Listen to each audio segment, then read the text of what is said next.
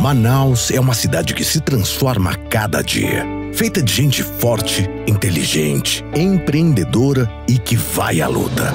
Um povo que olha para frente, acredita que o futuro se constrói com pessoas e muito trabalho.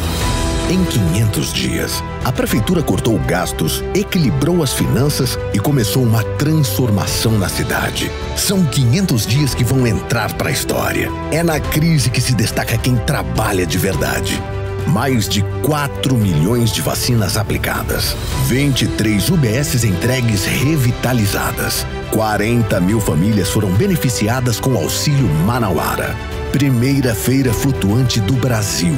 Em toda a cidade, o trabalho não para. E tem muito mais vindo pela frente. Chegou a hora de acelerar em direção ao futuro que a nossa gente merece. 500 dias de transformação na cidade. É trabalho da Prefeitura de Manaus.